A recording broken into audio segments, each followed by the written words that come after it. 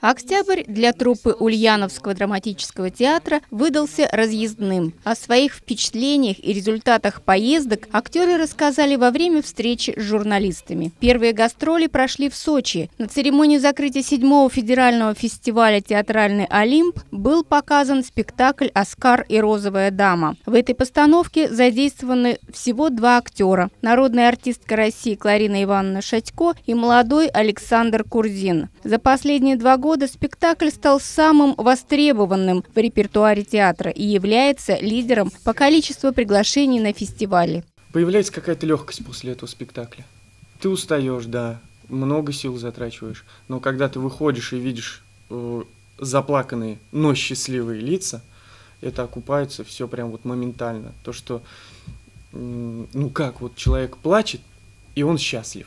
Ну вот это же какое-то же чудо. Кроме Сочи, Ульяновский драмтеатр восьмой раз побывал в Израиле на международном фестивале «Театральный дивертисмент». В этом году любовь израильских зрителей завоевывала театральная молодежь. Актеры представили детективную комедию «Любовь до потери памяти» по пьесе Валентина Красногорова, которая была создана специально для программы фестиваля. Я вот в третий раз посещаю эту прекрасную страну, и всегда я еду туда с таким ощущением – а вот в этот раз поймут, а вот в этот раз сложится, и пока вот это тепло по тебе не побежит, поняли, приняли. Ну, так как я женщина, я все это на чутье каком-то воспринимаю.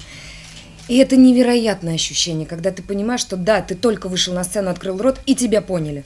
А 3 и 4 ноября в Ульяновском драмтеатре состоится премьера неглупой комедии по пьесе французского драматурга Эрика Эммануэля Шмидта «Если начать сначала». Впервые эта пьеса прозвучала на русском языке в 2014 году на сцене молодежного театра на Фонтанке в рамках фестиваля, арт-директором которого был Сергей Морозов, худрук театра на Литейном в Санкт-Петербурге. Именно Сергей Морозов и предложил поставить пьесу на сцене Ульяновского драмтеатра. Чувство неудовлетворенности, когда замысел есть, симпатия к пьесе есть. А, мало того, на два года мне было дано право первой постановки в России Эриком Эммануэлем лично, поэтому э, ему очень понравился тот как бы намек э, спектакля, который был, но так как это не вышло в конкретный результат, то вот э, когда возникло время и взаимное желание э, и у коллектива, и у Натальи Александровны Никаноровой, и у меня э, сделать э, работу, то было пред, сделано предложение именно э, пьесы «Если начать сначала», и вот премьера не за горами. Главный герой спектакля попробует изменить судьбу, не изменяя себе и своей любви. В постановке задействованы театральные звезды первой величины. Ирина Антонова, Юрий Ломатов, Новости Ульяновской правды.